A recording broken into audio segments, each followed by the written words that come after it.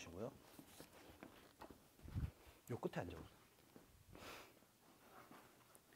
조금 들으면 조금 더 이제 더 앞으로 해서 거의 의자 끝에 의자 끝허리에 걸터 앉는 정도 그 정도만. 그 다음에 이제 컬을 딱 해보세요. 지금 이두에 느낌 오죠? 이 느낌의 회회전을 살짝 유지하고 그 지금 느낌 오죠 이것도 근데 여기서 이 팔꿈치의 위치를 뒤쪽으로 조금 더 더 견갑골을 살짝 모아줘요 더 뒤로 빼봐 그렇죠 여기에 너무 신경 쓰면 안 돼. 그 다음에 조금 더 이렇게 감아봐. 이게 더 오잖아요. 약간 상 이쪽에 오죠. 상부 쪽에. 이게 요즘 덤벨컬의 트렌드예요. 그 다음에 쭉 피세요. 그러면 이, 지금 이두가 약간 이게 앞쪽에서 이렇게 진행되면 지면하고 이렇게 수직 상태가 안 돼. 무슨 말인지 알죠? 왜냐면 덤벨의 지금 저항이라고 하는 게 지금 위에서 아래로 아래에서 위가 아니잖아. 위에서 아래로 이렇게 직선 상태로 진행되고 있잖아요. 중력 저항에 의해서. 그럼 내 이- 상완 이두도 어떻게 그 방향과 일치하게끔 만들어 줘야죠. 그러니까 여기서 이렇게 회전시키면 아무래도 그 위치가 좀 팔꿈치를 뒤쪽으로 보내서 이렇게 하는 방법론보다는 조금 더 저항력이 떨어진다라는 거지. 그래서 요거 아까 다시 한번 여기서 처음에 시작할 때 회외를 완전히 줘야 돼요. 회외를 줘놓고 이거 그러니까 처음 시작이니까 요걸 약간 더 뒤로 그다음에 붙이고 이 상태에서 딱 당기면 이 덤벨의 위치가 자기 가, 이 가슴의 요 중, 중간 정도 있죠.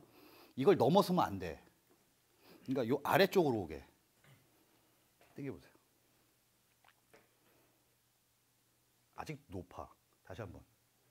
좀 더 더 뒤로 이렇게. 아니 양손을 동시에 해야지.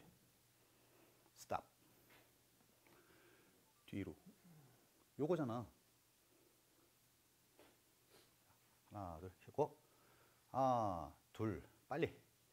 둘, 둘, 셋, 셋, 둘, 셋, 빨리. 둘, 셋, 다섯. 근데 이제 힘이 들면 점점 점점 이제 문제가 뭐냐면 팔꿈치가 따라 나간다라는 거예요. 이거를 더 의식적으로 더 뒤로. 이 팔꿈치를 더 뒤로 보내. 더 뒤로 보내봐. 난 더 뒤로 보낼 수 있을 것 같은데. 더 뒤로, 더 뒤로, 팔꿈치 뒤로. 계속, 계속. 그렇죠. 이때 느낌 와요 지금? 예, 많이. 많이 와요? 예. 이럴 때 정지, 정지, rest and pause, 휴식 정지.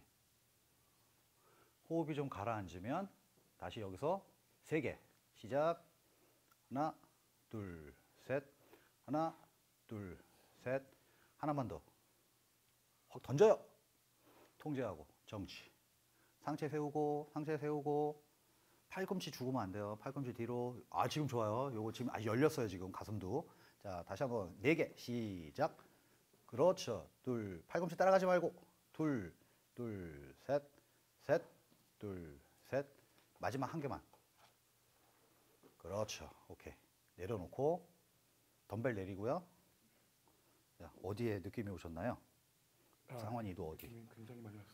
굉장히 많이 왔는데 특히 상완 이도에 어디? 아, 단도 쪽에 저 많이 온것 같아요. 어 그래요?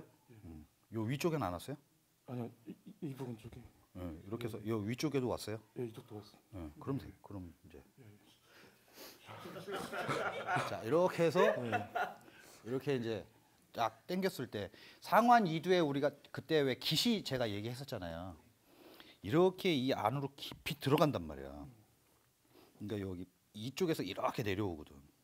그러면은 어깨 이 삼각근이라고 하는 이 근육 바로 아래쪽에서 여기서부터 팍 뽑혀 나와야 된다는 얘기지. 이해하시겠죠? 그래서 최근에 이제 그 어, 이두근을 자극 주는 어떤 그 방법론이 과거에 이제 바벨컬이나 덤벨컬 같은 거 보면은 이렇게 역동적이었잖아요. 이렇게 해서 이렇게도 하고 여기까지도 올라오고 한 손씩 하면 진짜 막 이마에까지 뭐 이렇게 역동적으로 했었단 말이야. 이해하시죠? 근데 이제 그런 동작은 거의 이제 전면 삼각근의 참여가 높아요. 그럴 수밖에 없지. 아무래도 이게 자꾸 자꾸 올라오는데 이 팔꿈치가 이렇게 위, 위쪽으로 상승하면 전면 삼각근을 이용해서 그 덤벨을 같이 들어주는 거잖아. 그러니까 이두의 그 실제적인 상완 이두근이라고 하는 근육 자체에 그러니까 참여하는 비율이 주는 거죠. 근데 이제 그것도 속임적 동작이라는 어떤 그런 부분에 또 그 접근을 하게 되면 또 맞는 동작이 될 수는 있겠지만 소근육이라고 하는 어떤 상완 이두의 어떤 분리를 얻기 위한 덤벨 동작에서 자꾸 전면 다른 그 근육을 참여하는 그런 방법론으로 진행하게 되면 아무래도 상완 이두근의 분리를 얻기는 좀 어렵겠지. 이해하시겠죠? 그래서 이제 최근에 진행되는 방법이 이 상완 이두라고 하는 것을 덤벨을 들고 이렇게 저항을 주면 대부분 이 앞쪽에서 이렇게 진행되니까 이게 대각선의 모양을 갖게 된단 말이야. 그러니까 지면하고 이게 딱 수직 상태를 이렇게 되는데 이런 상태가 된다라는 거죠. 그러니까 이걸 어떻게 해? 이렇게 끌고 나오는 거죠. 뒤쪽으로. 그러니까 그거를 만들기 위해서는 이 팔꿈치를 뒤로 뺄 수밖에 없어요. 그러니까 팔꿈치를 이렇게 뒤쪽으로 빼주고 약간 등을 모아주면서 가슴을 열어. 그 상태에서 딱 당기면 그 높이가 자기 이렇게 올라갈 수가 없지. 팔꿈치가 뒤쪽에 있으니까. 무슨 얘기인지 아시겠죠? 그래서 마치 이런 동작 같이 보인다라는 거예요. 여기서 옆에서 보면 이런 동작 같이 보이는 거죠. 근데 실제 자기가 해보면 이걸 해보면 이런 동작처럼 보이는데 실제 컬을 해보면 느낌은 이 상부 쪽에 굉장한 느낌이 전달이 된다는 거예요. 이런 덤벨 컬을 요즘 많이들 진행하고 있어요.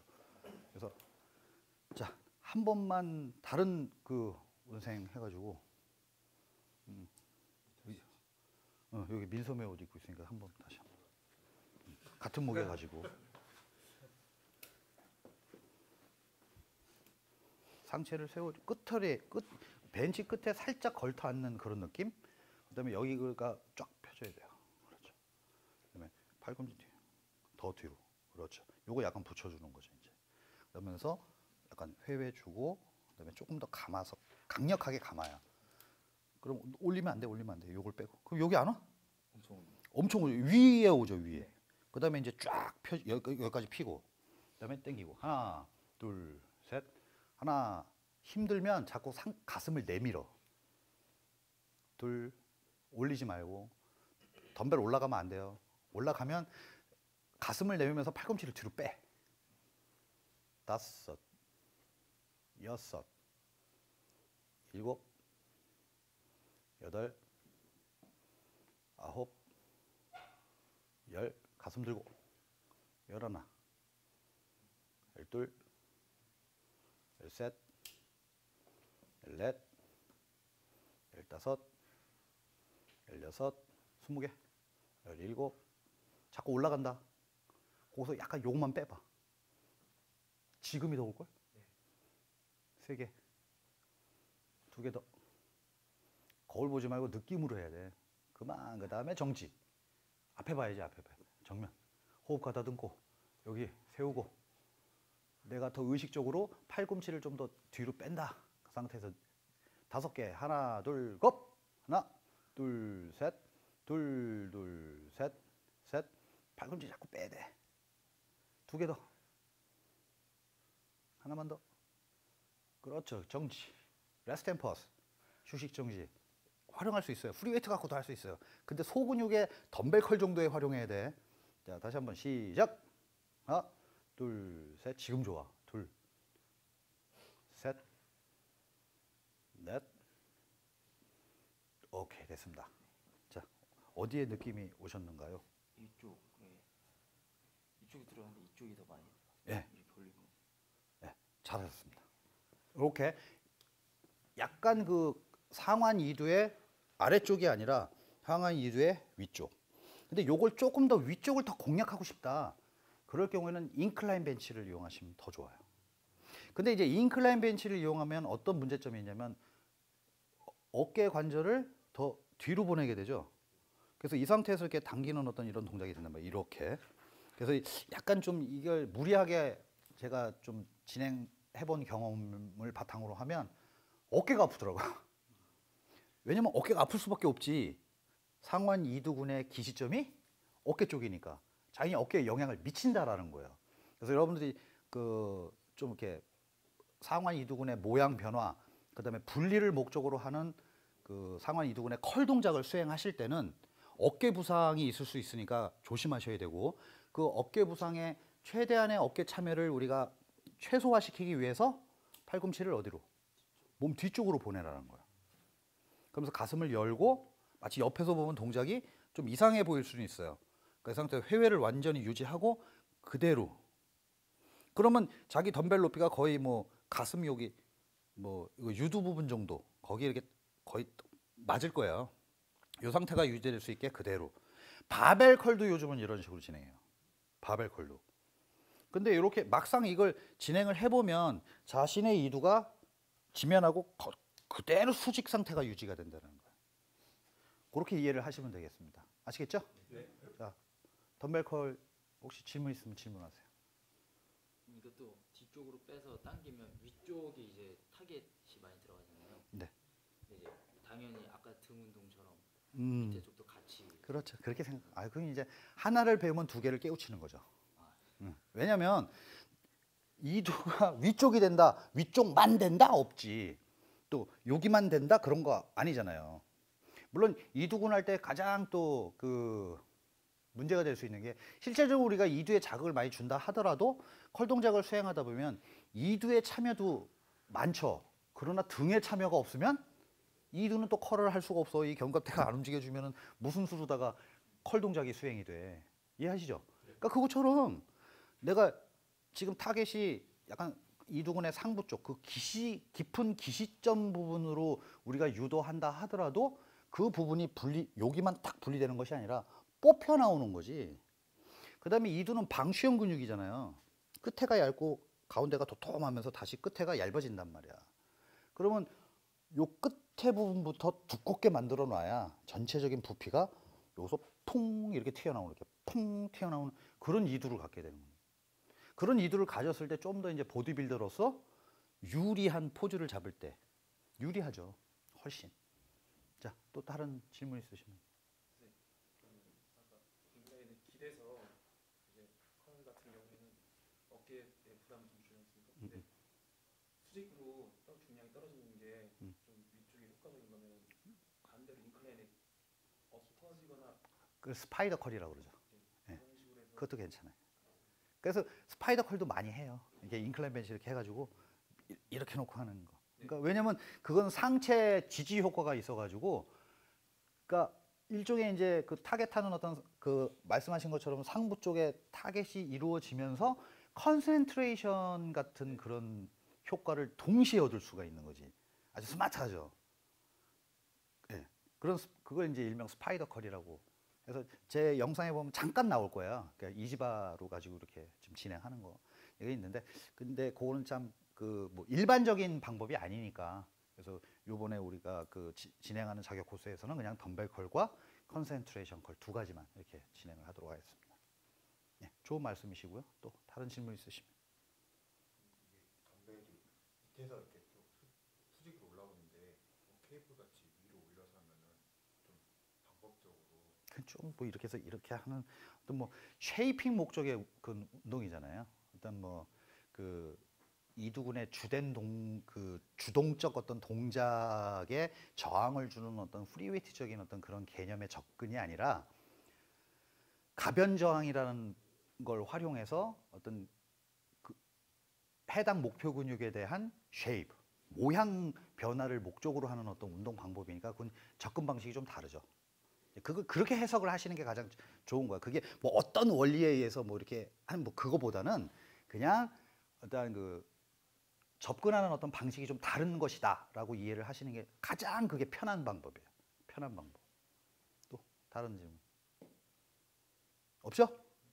그럼 이제 직접 이제 실기를 좀 진행하도록 하겠습니다. 자, 이런 교육 받으시냐고 수고하셨습니다.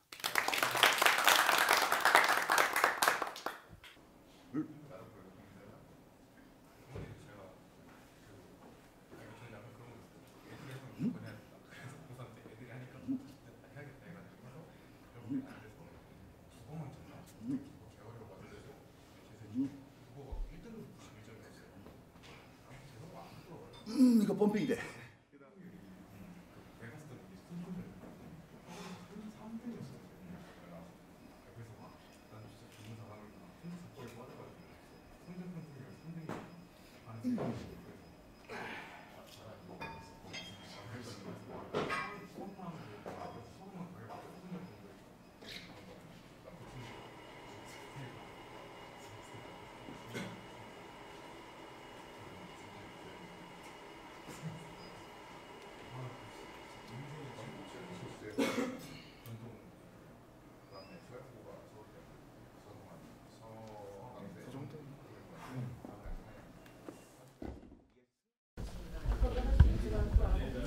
야 돼? 네. 네, 보면서? 보면서 막 인상 긁어요? 처음엔 내리고 계시다가 좀 보이시니까